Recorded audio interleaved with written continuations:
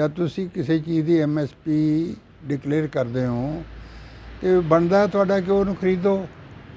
ਜੇ ਤੁਸੀਂ ਖਰੀਦਣੀ ਨਹੀਂ, ਤੇ ਫਿਰ ਉਹ ਐਮਐਸਪੀ ਡਿਕਲੇਅਰ ਕਰਨ ਦਾ ਕੀ ਫਾਇਦਾ?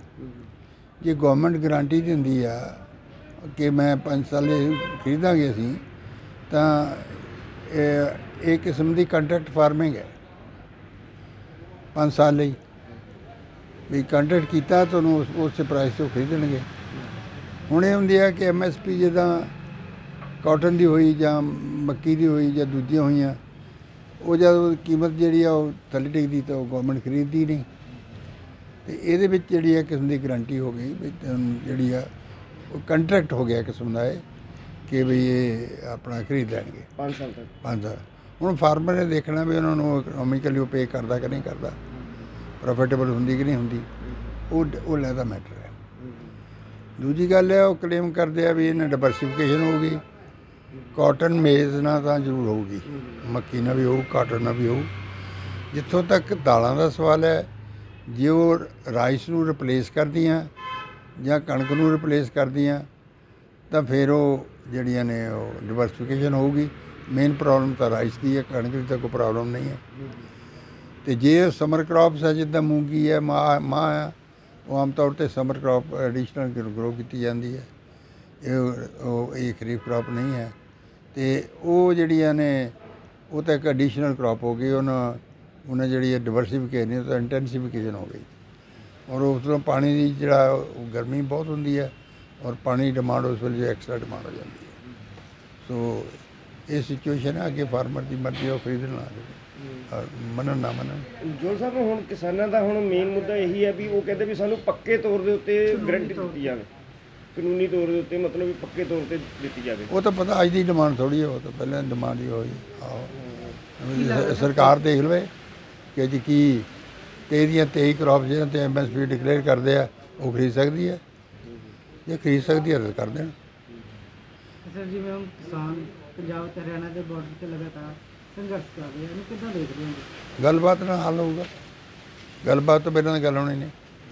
ਧੱਕਾਸ਼ਾਹੀ ਹੀ ਨਹੀਂ। ਗਵਰਨਮੈਂਟ ਵੀ ਮੋਰੇ ਮੋਰਚਾ ਲਾਈ ਬੈਠੀ ਹੈ ਇਹ ਵੀ ਇਹ ਤੋਂ ਧੱਕਾ ਆਉਂਦੇ ਆ ਇਹ ਕੋਈ ਦੁਸ਼ਮਣ ਥੋੜੇ ਨੇ। ਫਾਰਮਰ ਐਜੀਟੇਸ਼ਨ ਕਰਨਾ ਚਾਹੁੰਦੇ ਨੂੰ, ਕਰਨ ਦਿਓ।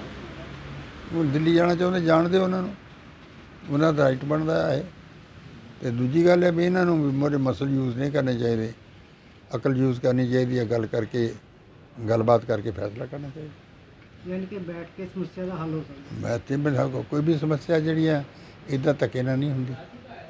ਹੁਣ ਜਿਹੜੇ ਕੰਟਰੈਕਟ ਅੱਗੇ ਕੰਟਰੈਕਟ ਫਾਰਮਿੰਗ ਦੇ ਅਗੇਂਸਟ ਐਜੀਟੇਸ਼ਨ ਸੀ ਤੇ ਆ 5 ਸਾਲ ਦਾ ਜਿਹੜਾ ਕਿ ਇਹ ਕੀ ਹੈ ਕੰਟਰੈਕਟ ਫਾਰਮਿੰਗ ਨਹੀਂ ਹੈ। ਇਹ ਵੀ ਤਾਂ ਕੰਟਰੈਕਟ ਫਾਰਮਿੰਗ ਹੀ ਹੈ। ਆਹੋ। ਸੋ ਉੱਥੇ ਇਹਦੇ ਫਾਰਮਰ ਦਾ ਕੀ ਸਟੈਂਡ ਹੈ? ਆਹੋ। ਫ਼ਰਕ ਸਿਰਫ ਇਹਨਾਂ ਆ ਉਹ ਕੰਟਰੈਕਟ ਪ੍ਰਾਈਵੇਟ ਕੰਪਨੀਆਂ ਵੀ ਕਰ ਸਕਦੀਆਂ ਸੀ।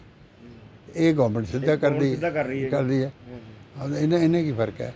ਪ੍ਰਾਈਵੇਟ ਕੰਪਨੀਆਂ ਦਾ ਇਹ ਹੈ ਕਿ ਉਹ ਉਹਦੇ ਉਹਦੇ ਵਿੱਚ ਇੰਨਾ ਬੰਦਿਸ਼ਾਂ ਸੀ ਉਹਨਾਂ ਨੂੰ ਕੰਪਨੀਆਂ ਦੇ ਪੈਰਾਂ ਸੰਗਲ ਪਾਏ ਸੀਗੇ ਉਹ। ਉਹ ਫਾਰਮਰ ਨੂੰ ਨਹੀਂ ਪਸੰਦ ਆਈ ਉਹ ਤਾਂ ਕੋਈ ਪਾਸ ਤਾਂ ਕਾਨੂੰਨ ਗੌਰ- ਪੰਜਾਬ ਗਵਰਨਮੈਂਟ ਨੇ ਕੀਤੇ ਸੀ ਸੈਂਟਰ ਗਵਰਨਮੈਂਟ ਨੇ ਤਾਂ ਉਹ ਬਾਕੀ ਦੇਸ਼ 'ਚ ਲਾਏ ਸੀ।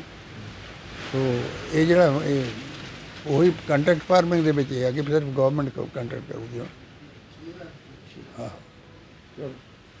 ਤੇ ਸਰ ਹੁਣ ਵੈਸੇ ਉਹਦਾ ਕੀ ਹੱਲ ਹੈਗਾ ਪੱਕੇ ਤੌਰ ਤੇ ਜੇ ਆਪਾਂ ਦੇਖਿਆ ਜਾਵੇ? ਪੱਕੇ ਤੌਰ ਤੇ ਯਾਰ ਬੈਠ ਕੇ ਫੈਸਲਾ ਕਰ ਲੈਣ ਕੰਮ ਕਰ ਲਓ ਪੱਕੇ ਤੌਰ ਤੇ ਹੀ। ਹੈ ਗਵਰਨਮੈਂਟ ਜਿਹੜਾ 23 ਦੀਆਂ 23 ਕ੍ਰੌਪਸ ਨੂੰ ਅਗਰ ਐਮਐਸਸੀ ਡਿਕਲੇਅਰ ਕਰਦੀ ਹੈ ਤਾਂ ਖਰੀਦੇ ਜਾਂ ਨਾ ਨਾ ਡਿਕਲੇਅਰ ਕਰੇ।